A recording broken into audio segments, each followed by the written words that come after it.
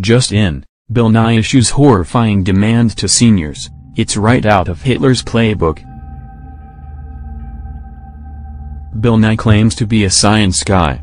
If anything, Nye, whose academic degree is in mechanical engineering, is a hateful bigot who is publicly rooting for the deaths of millions of Americans.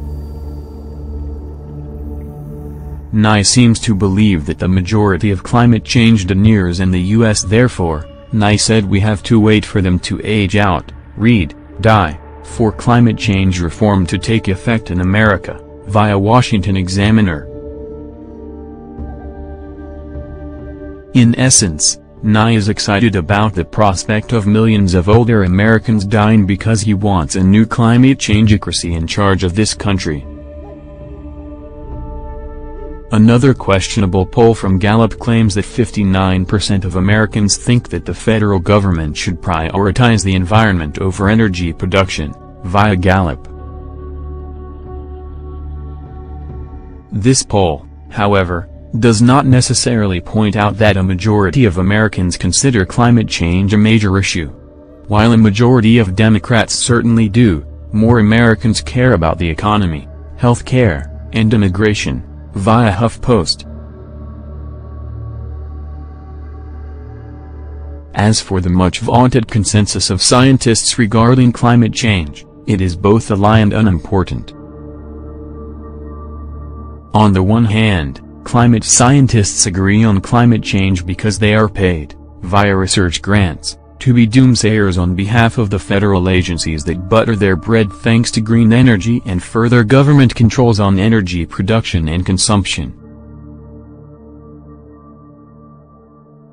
In regards to climate scientists willing to question the orthodoxy of their industry, they claim that there is no reason to believe that climate change requires the extreme policies being offered by people like Nye, via Heritage Foundation. Back in 2015, a study of climate scientists in the Netherlands showed that there is no consensus in regards to the existence of climate change or its impact, via Breitbart. British journalist James Delingpole has spent his career debunking the climate change panic. Delingpole calls climate change a $1.50 trillion a year scam that is not backed by any serious data, via Desmog blog. For Delingpole, the modern environmental movement is green on the outside, but communist red on the inside. Their goal is to institute Marxism via the climate change cause. Ironically, even other leftists have criticized the environmental movement because of its supposed roots in white supremacist politics, via The New Yorker. All of this evidence highlights how sick Nye and people like him are. They want climate change deniers dead all because they cannot fully support their own false cause. Do you believe in climate change? How do you feel about Bill Nye?